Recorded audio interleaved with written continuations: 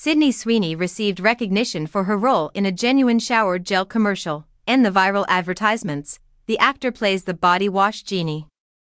Sydney Sweeney appears in a humorous shower gel commercial that has gone viral and been viewed over 1 million times. The star of Euphoria and White Lotus, Sweeney was cast in the commercial by soap company Dr. Squatch, whose vice president of marketing, John Ludick, hired her because she resonates across broad demographics. In the commercial, Sweeney portrays the body wash genie, a character who materializes out of nowhere and tells random men, guys only want one thing.